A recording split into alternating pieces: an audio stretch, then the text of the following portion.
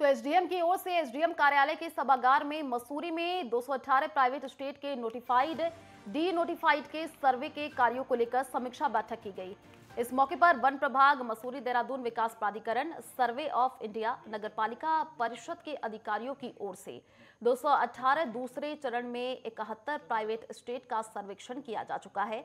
वहीं 27 स्टेट्स का नोटिफाई और डी नोटिफाई का सर्वे रुका हुआ है। जिसमें से 14 स्टेट का सर्वे कर बाउंड्री की जा रही है। उन्होंने बताया कि कई जगह सर्वे किए जाने पर कुछ लोग परेशान कर रहे हैं, जिससे उनको सर्वे करने में दिक्कत हो रही है। जिसको लेकर एसडीएम ने टीम के अधिकारियों को निर्देश दिए हैं कि मसूरी में सर्वे का कार्य सुप्रीम कोर्ट के निर्देशों के बाद किया जा रहा है। ऐसे में अगर किसी व्यक्ति को सर्वे को लेकर आपत्ति है तो वह सक्षम अधिकारी या न्यायालय से ऑर्डर उपलब्ध कराए। उन्होंने कहा कि अगर कोई भी व्यक्ति सर्वे के कार्य में बेवजह आपत्ति करता है तो उसके खिलाफ कानूनी कार्रवाई की जाएगी।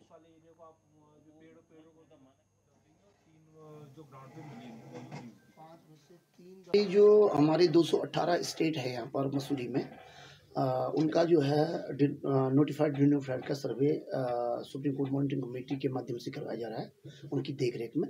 और आज हमने उसकी समीक्षा की। उसमें फॉरेस्ट डिपार्टमेंट से एसडीओ साहब और रेंजर साहब और उनका स्टाफ आया था। सर्वे ऑफ़ इंडिया से जो सर्वेयर इसमें काम कर रहे फ़ील्ड में वो लोग थे। और नगर पालिका से नगर पालिका ई जो मेन पार्टी थे और एमडीडीए से भी इंजीनियर्स आए थे। वही एक कमेटी है यहाँ पर जो नीचे लेवल पर देख रही है काम को।